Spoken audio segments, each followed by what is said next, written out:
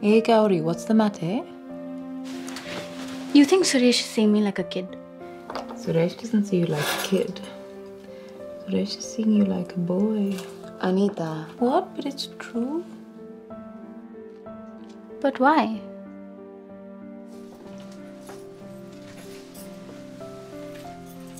If you are behaving like a boy And dressing like a boy. then how will he see that you are a girl? Hmm?